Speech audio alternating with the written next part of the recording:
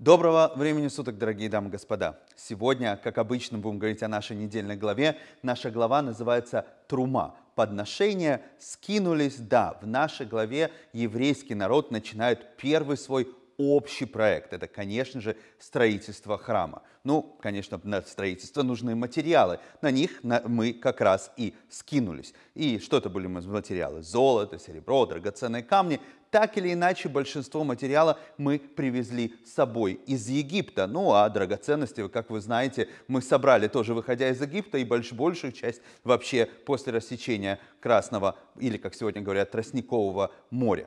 Но некоторые из материалов вызывают вопросы у наших комментариев, э, комментаторов. Один из таких материалов – это ацей шитим. Это деревья, акации, или, как некоторые комментаторы говорят, кедра, так или иначе, ни акация, ни кедр особо в Египте не растет, а тем более в пустыне. Ну, правда, об этом чуть позже. На сегодняшний день в пустыне Негев можно найти одну из разновидностей акации, но об этом через минуту. И, естественно, возникает вопрос, откуда взялись эти деревья, взялась эта древесина для строительства столбов временного храма. Основной комментатор Раши он очень строго в своей стилистике, как он комментирует, э, комментирует э, нашу святую Тору, и его комментарий всегда очень краткий и лаконичный. Главное его правило, он всегда объясняет простой смысл. И тогда, когда он приводит какой-то мидраж или какой-то рассказ из Талмуда, он это делает своего рода, ну, извиняясь, мол, для объяснения простого смысла это необходимо, а иногда вообще просто говорит, ну, по этому поводу есть много рассказов и легенд. Но в нашем случае по поводу акации, о которой Раши как раз говорит, что это и был кедр, Раши нам рассказывает целую историю. Причем рассказывает ее дважды.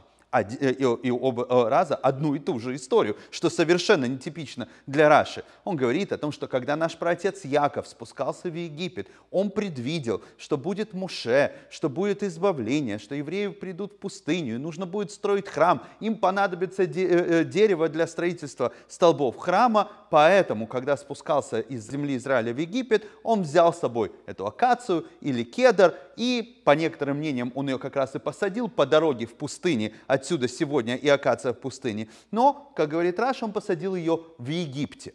Зачем Раши нам приводит такую целую историю, причем приводит ее дважды? И еще один очень странный момент в комментарии Раши. Раши в очень редкой для себя манере упоминает источник этой истории. Он говорит, что пишет об этом Раби Танхума, автор нескольких мидрашей, которые так и называются Мидраш Танхума.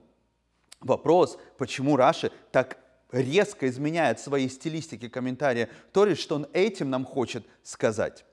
Последний Любавический Рэбе большинство своих бесед строит именно на таких моментах. Он очень строго следит за строгой э, э, и четкой стилистикой Раши, и когда есть от этого отступление, он говорит, что это особый урок, который Раши нам хочет преподать. И объясняет в данном случае такое странное отступление Любавический Рэбе потрясающим образом. Он говорит, что ключ к пониманию именно в том, что Раши упоминает источник. Более того, не упоминает источник как название книги, Медраш Танхума, а именно говорит Раби Танхума. И ключ в значении имени этого мудреца Раби Танхума Бараба, а потому что слово Танхума происходит от слова Нехама, утешение. И поэтому Раша специально говорит о том, что этот мудрец нас утешил – Объясняет Любавический Рэбе, что Яков не просто так взял с собой акацию, а он посадил ее в Египте, потому что он знал, что еврейский народ будет находиться в тяжелом изгнании, в репрессиях и так далее, и когда уже совсем будет не в моготу,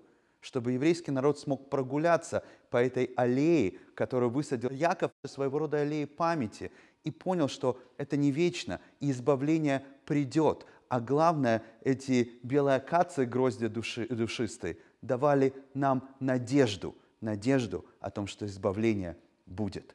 А что ваша акация? Успехов! До встречи! Пока!